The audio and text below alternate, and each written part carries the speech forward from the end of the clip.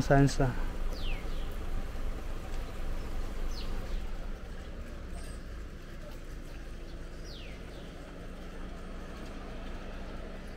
这是我刚才走的地方，走回来的。然后我们接着往前走，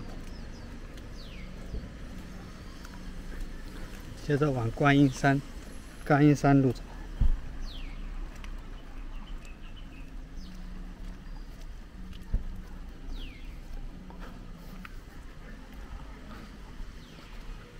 看这个地方建造的奇奇特吧，这是一个咖啡厅。啊，这能在厦门建成这样子，也是肯定是很有实力的，非常有实力的，建成这模样。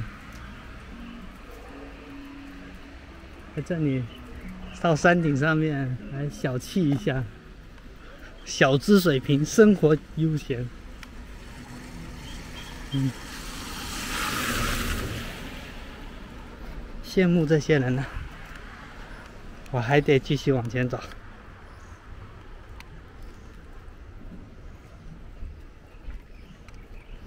这条路是观音山路，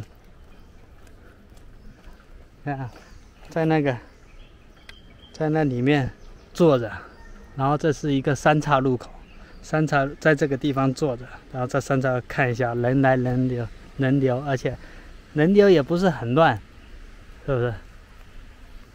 人流不是很乱，人上来的一人上来的话，一般不会坐公交车吧？应该都是打的，或者说是自己有有车。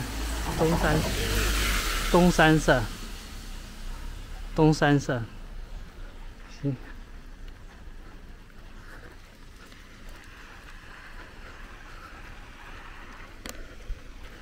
这些都这些这里的话，一般都是应该是，啊，旅馆呐、酒店呐，这比应该是比较多吧。民宿应该说叫，应该叫做民宿。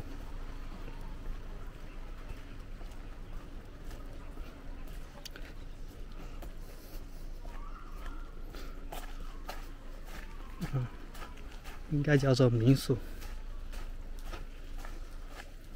刚刚照的这一些。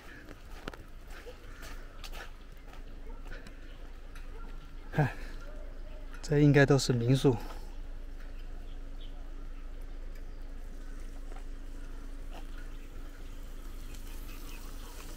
哦，那里有一个小小的指示牌，特别小，多小呢？我的手机那么大。那观音山路其实跟我手机一样大，一样一样宽。观音山路。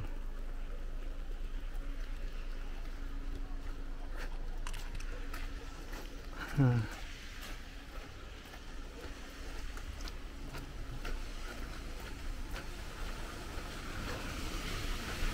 东平山片区近邻碳排近邻碳排放示范区，近邻碳排放示范区，零排零排放，口号喊，口号喊出去，做不做得到立马是，是不是？谁来监督那立马是，但是你口号喊出去，你就会。有动力吧，有动力，有一点点动力。你看，这些都是名字。看，淡淡的雾，人在这里潮。不过，不过那个啊，又下雨了。不过在这里啊，南方天气是统一的通病，就是潮，特别潮，特别潮，潮湿，特别潮湿。南南方统一的通病就是特别潮湿，那这是没办法。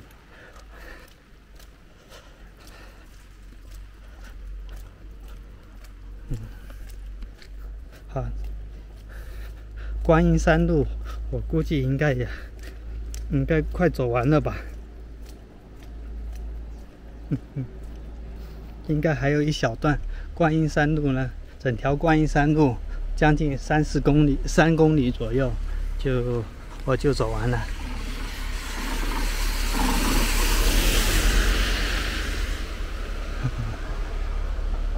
超大型的垃圾那个收容。